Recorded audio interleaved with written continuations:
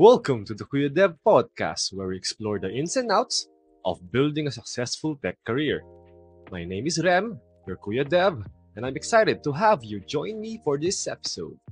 Whether you're just starting on your career, looking to shift careers into tech, or hoping to grow more as a tech professional, this podcast is for you. Thank you for tuning in, and together, let's enjoy the episode.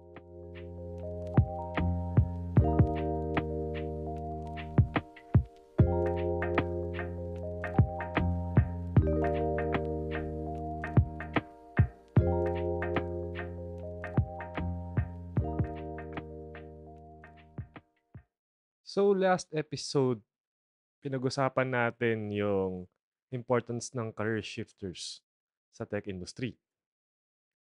Ngayon, doon naman tayo sa kabilang side. Yung importance naman ng college graduates ng computer science.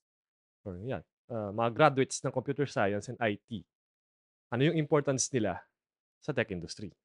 Kasi baka sabihin ng iba, yun na naman, uh, bias na naman si Kuya Dev I mean, medyo, medyo. I'm a career shifter myself. Siyempre, may onting bias yan. But that's not not my intent. My in, my my real intent is to get as many Filipinos into the tech industry as possible.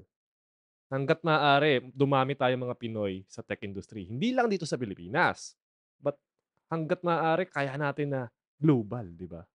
Sa global market tayo lumaban. Yung tipong uh, dinodominate ngayon ng mga nationalities tulad ng Indians, of, of, of course, uh, pati yung mga Americans, yung makapantay man lang tayo, di ba? Pantay or ma- mahigitan man lang natin na parang pag sinabing tech, ang iniisip agad Pinoy. Yun ang gusto kong mangyari. Yun talaga eh. No, aside from so doon sa mga sinabi ko last episode na mga mga hopes and dreams ko for for the tech, uh, Pinoy tech talent market. So, yun nga. Pupunta tayo sa importansya naman ngayon ng mga college graduates sa tech industry. Ano ba ang talagang contribution ng mga computer science and IT graduates sa tech? I mean, marami dyan, siguro alam nyo na, di ba? Of course, andyan yung academic knowledge kayo yung tipong, you know, you are the people that we look up to, no? Kaming mga career shifters. Na parang kayo yung tinitingnan namin for that guidance. Kasi syempre, kulang kami nun. Kanina pa kami magtatanong, di ba? Oo, andyan yung Google, andyan yung ano. Pero iba pa rin pagka may transfer of knowledge between people you know eh. Di ba? Na may matututunan kayo sa amin, na sa mga pinanggalingan namin na background, at kayo rin, may matututunan kami sa inyo. Most probably kasi yun nga, yung mga inaral nyo, ma- maaring di pa kami aware, no? di pa namin naaaral, di pa kami, no? Uh, we need that guidance. Lalo na pagkatipong nagsisimula pa lang na sa career in tech. And we are looking to you to provide that. And I, I encourage you, wag, wag nyo ipagdamot yun. No? I, I kinda understand na Siyempre na ikaw nagdaan ka sa ganito, eh, pinaghirapan mo 'to, 'di ba? Parang ba't gano'n? Sila parang nadadalian sila. Pero I assure you, hindi madaling makapasok ang mga tech career shifter sa tech. Pagka nakapasok sila diyan, pinaghirapan din nila 'yan. 'No? Pero I understand kasi nga hindi ka aware na kung ano yung pinagdadaanan ng mga career, shift, career shifters. Feeling mo, they got, you know, parang they were handed that opportunity on a silver plate. Which is wrong naman, 'di ba? Kasi hindi mo na siguro naintindihan din kung ano yung what what it takes to be a uh, successful career shifter. Sobrang hirap din nun. And hindi rin namin minamaliit yung pinagdadaanan niyo, mahirap talaga 'yan. Ang college is whatever your course is, maday mahirap 'yan kasi that's 4, 5 years of your life. Ako, ilan ba ako inabot sa college? 6 years kasi engineering ako tapos nag uh, na-delay pa ako. So Muntik na umabot ng 7 years. Buti na lang sa FEU nun, trimestral. So medyo nahabol ko rin. No? Kung hindi trimestral yung FEU nun, baka inabot ako 7, 8 years na, bago na natapos ng college. So it's not easy. No? And no one's saying that things are easy in tech. Wala. Ako mismo, lagi, lagi ko sinasabi, sigurado kayo, pasukin nyo tong industry na 'to, you better be ready dun sa pain, dun sa magiging effort niyo, yung mga sleepless nights, mga forgone na mga lakad during weekends, isa-sacrifice niyo lahat 'yan, kung gusto niyo talaga. And yun nga, uh, be assured na yung mga college graduates, yung mga nagdaan talaga ng computer science na program really admire what what what you did, 'no? Wag wag niyong iisipin na parang minamaliit namin 'yan. We admire it, 'no? Ako nga lang ngayon inaaral ko yung mga bagay-bagay, eh, yung nag-aaral ako ng, ah, discrete math, um, proving, 'no, how to prove, ah, mga mathematical concepts. And it's damn hard. Sobrang hirap. Like, I couldn't imagine going through that in college? I mean, mahirap din naman ang engineering. I mean, andun tayo, eh, but yung pagkaka-aware ng utak ko, feeling ko lang mas sakto siya dun sa pinasukan ko na ano, na na course which is electrical engineering. Medyo mas na-gets ko siya, eh, more than, ah, sabihin nating ECE. Kasi may mga electronics dun, eh. Yung electronics di ko masyadong ma-get ma-gets yung ano nun, yung mga concepts dun. But yung electrical engineering, it came to me kinda naturally. Parang nag ang bilis mag-click sa'kin. Kasi parang yung wiring ng utak ko nga, pasok siya sa electrical engineering. Pero yung theory yun, sa practice siyempre iba ib iba yun. Pagka nag-practical ano na, kunwari may lab work na, yun medyo nahihirapan na ako nun. Pagka naghihinang na, nag, bi-build talaga ng circuits. I know the theory, pero yung practical application medyo hindi naman mahina, but you know, kinda average. Hindi not not really spec spectacular. So, gano'n ako sa nung nag-take ako ng electrical engineering, nung tinapos ko siya sa FEU. Pero siguro kung nag-take ako ng computer science tapos 'no, pinagdaanan ko 'tong yan, yan, discrete math, ano ba, although nag meron naman kaming linear algebra dati, pero yung ganitong linear algebra na for sabihin nating AI, machine learning, I don't know if I could have survived it, 'no? Again, ano lang naman 'to, mga what could have been.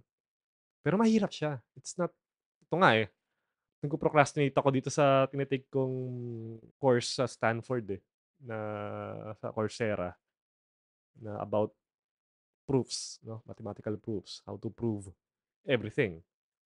So, nalimutan ko yung pangalan ng course, eh. But tip, I got it I got it on fina financial aid. So, libre siya, ngayon kinukuha ko siya kasi wala tayong budget pang pang-ano ngayon. Mahirap ang buhay ngayon, eh. So, kailangan medyo tipid-tipid, you know, didiskarte tayo. So, they give out, ah, financial aid lalo na pagka you're you're from a developing country. Most probably pagka nag-apply ka for financial aid sa mga courses sa Coursera, and I think even sa Udemy and EDX, makakakuha ka naman ng ano, ng o maa-approve yung application mo and makukuha mo siya ng libre. Pero yun nga yun parang yun yung first step, eh. Yung yung pagbabayad, eh. Pero yung actually investing the time, yun yung medyo mahirap, 'no, and really, um, persevering na tapusin yung course. But I've I'm learning a lot dun sa course na yun. Yun nga lang napo-procrastinate ako ngayon. Hopefully pagkatapos nitong recording session ko, it ito na yung parang final recording session ko for the podcast. So, hopefully after this, I could allot time na to resuming the course. Ah, pero yun nga, nalayo na naman ako. Um we're not saying na madali yung pinagdaanan niyo. No one's taking that away from you. Pero let people, 'no, let people think what they wanna think. Basta alam mo ikaw, pinagdaanan mo na yun, eh. So, it's an achievement, 'no, personal achievement siya. Di mo na kailangan isampal yun sa mga tao. Di mo na kailangan ipangalandakan yun. Um, what matters nga lalo na sa tech is the skill. Oo nga, tulad nung sinabi ko kanina, I was really good at the at the theore theoretical side of, um, electrical engineering. Pero aminado ko yung practical side medyo I was lacking.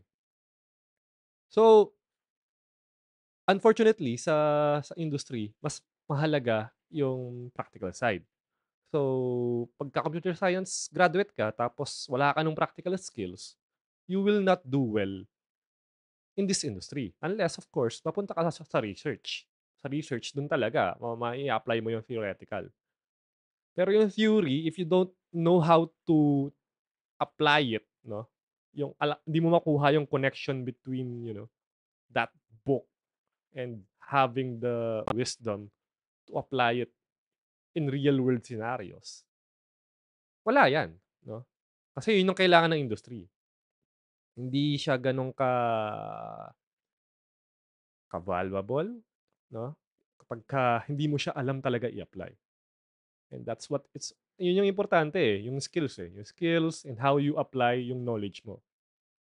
So, if it's still it's it's all in your mind 'no, you can compute everything ganyan, ganyan.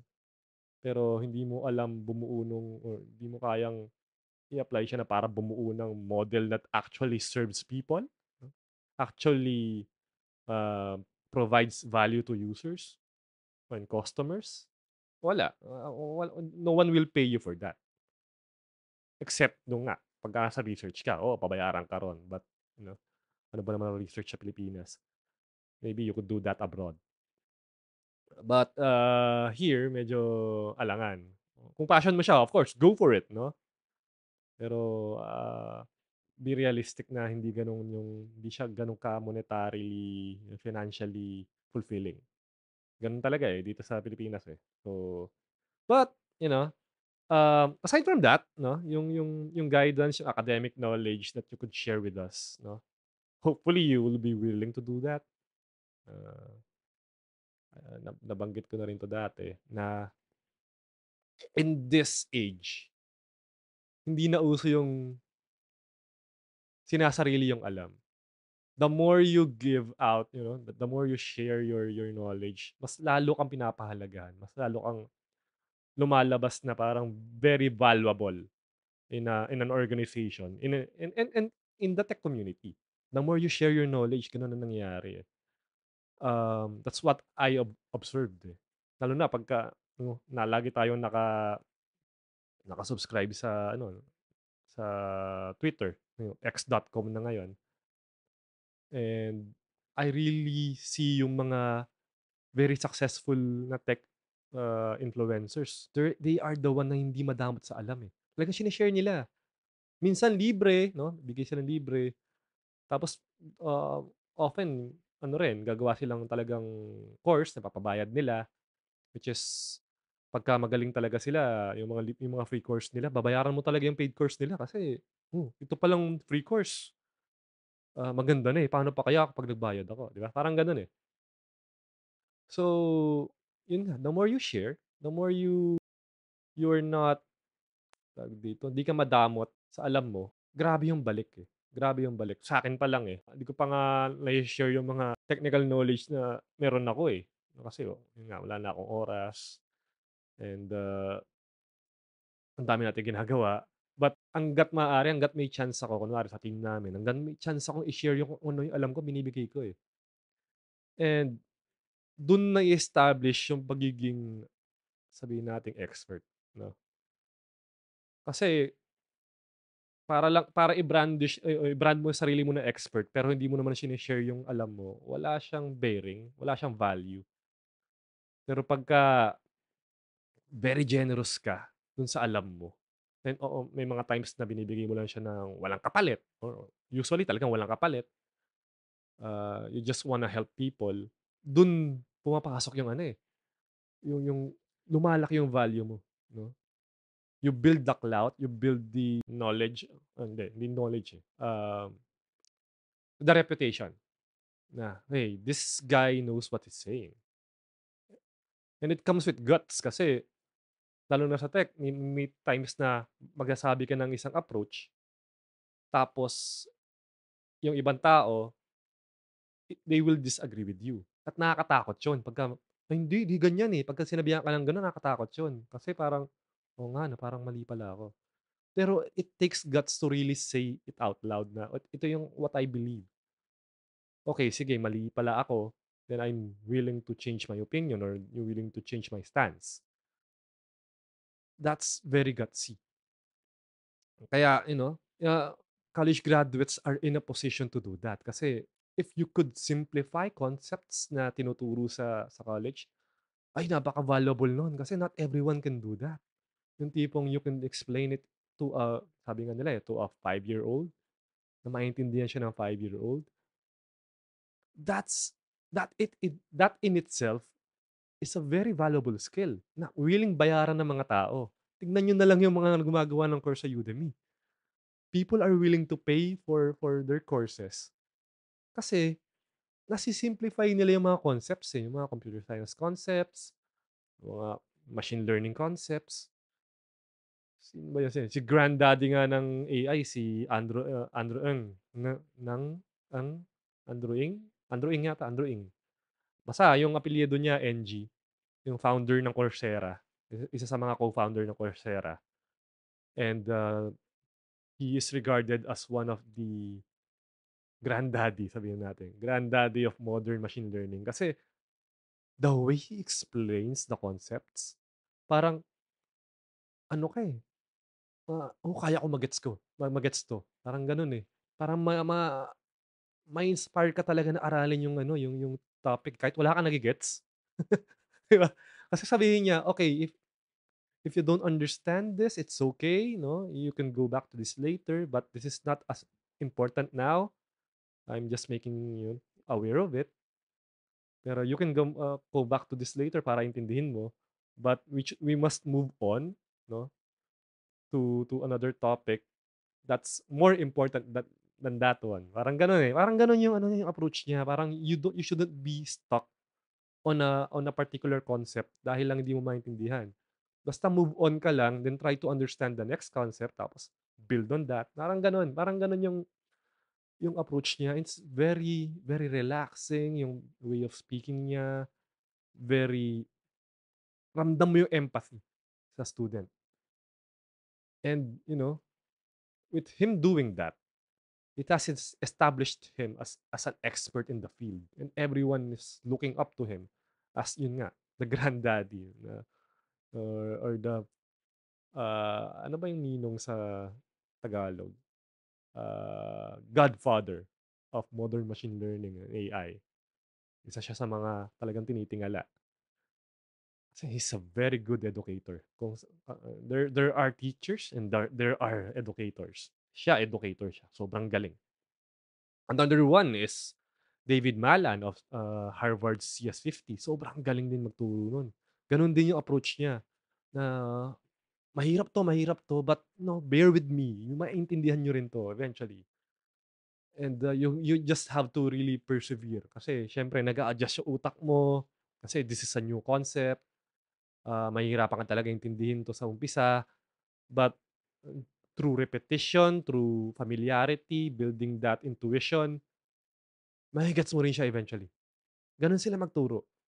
Kasi 'no, admittedly 'di ba, kayo nagdaan kayo sa sa college. Mahirap talagang maintindihan. At ang yun nga, yung constraint ng ng college is they have to do that within at very short times time constraint. So, they are yung ano, are tied yung mga ano, eh, yung mga professors, eh. And even the students. Ang nangyayari, yung mga nahuhuli, yung mga medyo hindi ma-gets agad, mahuhuli talaga ng mahuhuli. Hindi talaga nila maga-grasp agad 'yan at lalo lang silang mape-pressure at pap paki ma ang pakiramdam talaga nila ang bobo nila, 'no? And it's and that's bad. Pagka naramdaman mo na parang, "Ang bobo ko naman." Magiging defeatist ka na, eh, na parang, "Di ko na hindi na ako mag-e-effort na intindihin 'to kasi ang bobo ko, eh. Di ko talaga maintindihan 'to." Parang ano na agad, tumatatag agad sa isipan nung nung estudyante na, "Hindi ko kaya 'to." And when you, uh, feel defeated na, wala na, hindi mo na talaga pagpupursigihan. And that's one of, I think, the benefits masasabi natin of career shifters kasi they are not constrained by time, usually. Na they can learn on their, uh, own time. Pero yung drawback dun, kailangan ng matinding discipline, 'no? Kasi tulad ko, ngayon nagpo-procras procrastinate ako dun sa inaaral ko ngayon kasi hindi walang pressure nung ano, eh, ng exams, ng deadlines, walang gano'n. So, I I have the luxury to procrastinate, which is actually bad kasi I really need to finish this. Hanggang grabe yun palang sinabi ko nakaka-20 minutes na ako. But na lang, um you can't underscore the importance of that. Yung gano'n na approach dun sa naaral mo, na-acquire mong knowledge during college. Na even though you paid hundreds of thousands for it and you, uh, exerted a lot of effort and maybe a lot of tears 'no, and time na willing kang i-share yun kahit na, yun nga pinagdaanan mo yun. Dun nanggagaling kasi yung pagdadamot, eh, na pinaghirapan ko 'to, eh, ba't ibibigay ko sa'yo ng madali? Yun yung alam ko alam alam ko dun nag-ano yan, eh, dun nag-uugat yan, eh, kasi nanggaling din ako dun, eh. Pinaghirapan ko 'to, eh, ba't ko bibigay sa'yo 'to? Pero 'di ba, the more you you you let go of that, 'to ginagawa ko ngayon. The more I let go of that feeling, that thought, that, uh, mindset, the more people appreciate it. And when people appreciate what what you're doing they get to value you. Ikaw na, they they put value on what you're doing and on you. Na parang nagiging valuable ka na sa kanila. You you become from being just a rock, you become a diamond, 'no. Of course, di ko naman sinasabing diamond ako, I still have, you know, long way to go, but I feel naman na parang nakakatulong ako sa mga tao, 'no. So much so that, you know, people are reaching out to me for talks uh, actually to even hoping to employ me 'no, parang gusto nila ako kunin dun sa companies nila. Kasi nga, they see what I'm doing and nag-a-align dun sa mga values nila. Na hopefully ganun nga 'di ba? I I wouldn't know 'di ba? But I'm assuming. Na baka align ako dun sa gusto nilang gawin, dun sa culture nila. So, they're trying to recruit me. Pero ano 'no, um, loyal na tayo ngayon, eh. So, baka mapanood 'to ng mga taga Prospel. Hi, shoutout dun sa mga taga Prospel diyan. Um loyal ako sa company ko ngayon, but ano, ah, it's it's flattering 'no, na na ganun nangyayari. But I want this to happen to everyone, na ganun nga. Let's build the culture of sharing. Tanggalin na natin yung madamot tayo sa alam natin. Hayaan na natin yung ibang industry na gano'n. I'm hoping na mang gano'n sa ibang industry maging open din sila sa knowledge, but 'no, kahit man lang dito sa tech industry ibahin natin yung approach. 'Wag tayong maging madamot 'no. Tayong mga mga college graduates, you can learn a lot from us, and we can learn a whole lot from you. 'No? Let's just, you know, keep on keep on sharing, uh, insights and knowledge with each other. And you know, kung kung sino ba nag-post nun, may nag-post nun, eh, dun sa isang pino ano ko, eh, isang shinare ko sa Facebook na a lot of the tools that we use now in software engineering were built by career shifters, 'no. So, iba rin, iba rin talaga yung pinapasok ng mga career shifters and iba rin talaga pinapasok ng mga college graduates. 'Wag niyong mamaliitin din 'yan. Hindi namin kayo inaagawan. The pie is really huge, 'no. The market is huge. Kung you see it in another way, hindi yung, ah, traditional na way of thinking or about careers. Share ko na rin na, ah, yung naging encounter ko kanina with a a batchmate sa Ateneo. Ah parang isa siya sa mga top students sa batch, ah, sa batch namin. Magaling talaga yun. Um, and 'to parang common 'to sa sa mga generation namin, eh. Bahala na kayo kung anong generation niyo. Um, but sabi nga niya na-realize niya kasi tinanong ko siya, "Oh, saan ka na ngayon? Pang-ilang company mo na?" Pang-anim na daw niya. Sabi ko ay sabi niya, "Alam mo pre" kasi parang may dalawang corporate position siyang hinawakan, eh, na kilala yung mga companies, 'wag na natin banggitin ano. Mga huge conglomerate. Ah, ECE nga pala yun, ECE. So, oo, he went into engineering of course, parang ako. So, sabi niya sa'kin, "Pare dap mali pala tayo," sabi niya. "Dapat pala nagpalipat-lipat tayo ng company." Na loyalty doesn't really pay kumbaga. dito sa Pilipinas. And he's he he realized that now and nagpapatalon-talon siya ngayon ng ng companies 'no. Ah, sabi ko naman, oo, eh, na mali yung ano, eh, yung yung yung turo na sa'tin, eh, yun yung parang na naging training sa'tin during college, eh, during our academic years, eh, na you have to be loyal, you have to to stay in a company for at least 10 years hanggang sa mag-retire ka kung kaya, kasi you will be rewarded. And that's not what the employment scene is right now, eh, hindi na gano'n. So yung mga millennials, they were they were trapped in that kind of sabihin nating hindi naman siya lie. Kasi it was true before our generation.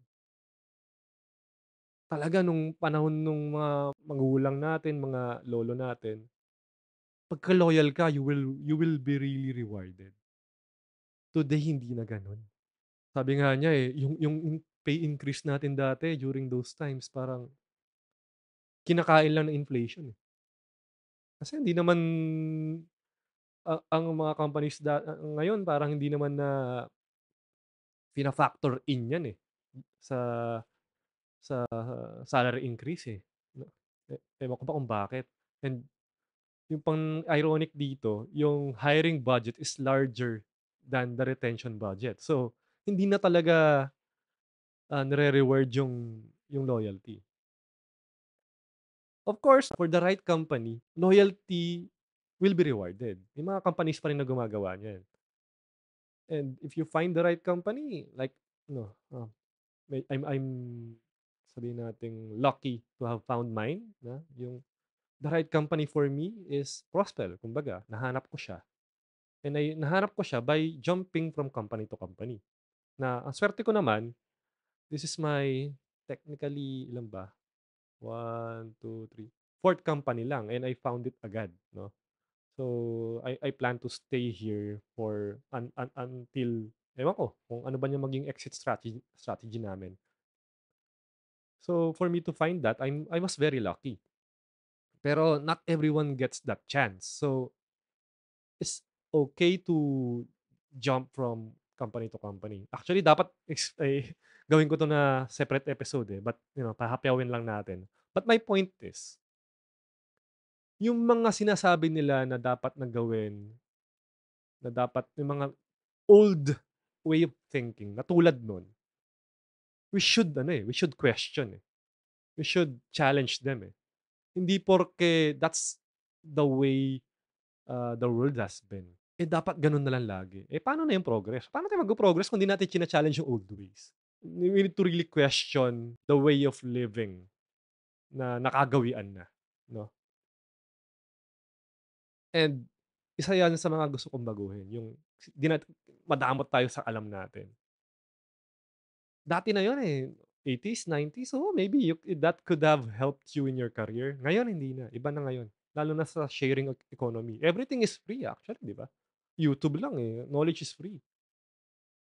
So, the way you could e establish yourself is to share what you what you know. And why that's why I really, um, admire people, lalo na yung mga bata, yung mga di pa guma-graduate, yung mga students, mga fresh graduates, that really take to TikTok, Facebook, Instagram, YouTube, even even Twitch, 'di ba? And they really try to share what they know. At at at that early stage pa lang ginagawa na nila at napapansin sila ng mga ano, ng mga ako napapansin ko sila. Like, "Galing nito, ah," parang gano'n, 'di ba?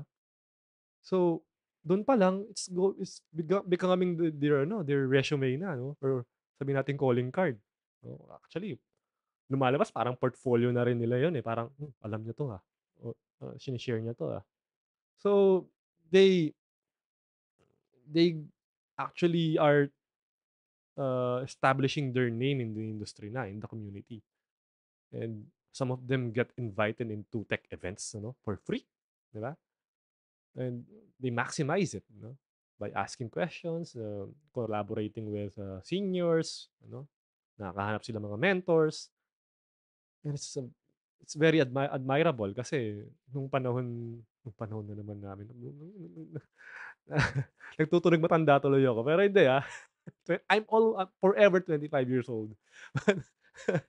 Um ayun, nung panahon namin walang ganyan. It was parang kanya-kanya kayo, 'no?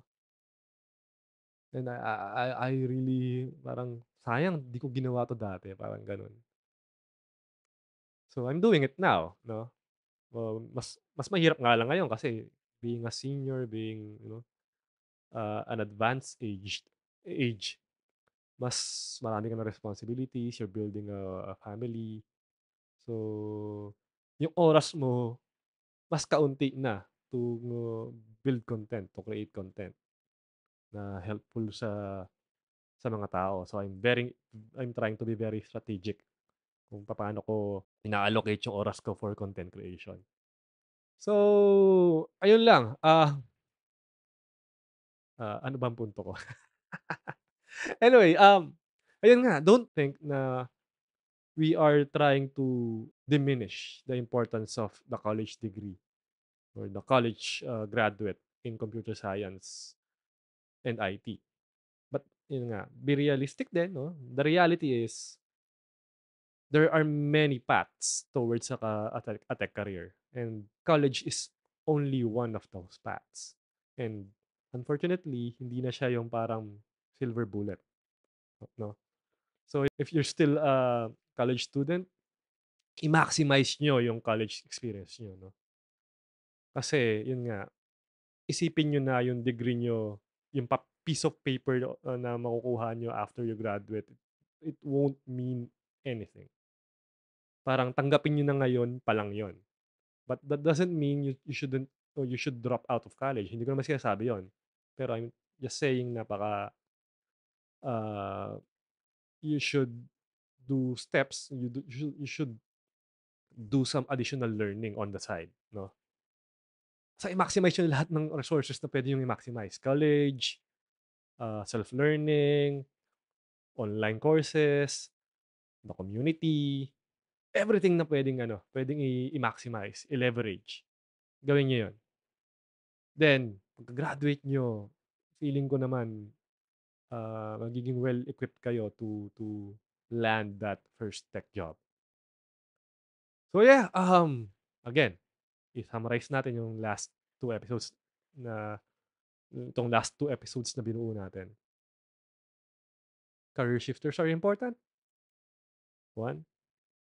College graduates are important, 'no? Both important and they go hand in hand. Kumbaga yin-yang 'yan, 'di ba? Ah, 'pag pinagsama mo 'yan, ah, perfect harmony, yung sabi nga nung kanta. So, yeah, um, I'm excited dun sa final 2 episodes natin, yung, ah, season ender natin. It's going to be, uh, the interview of, uh, Mr. Jamie Karangan.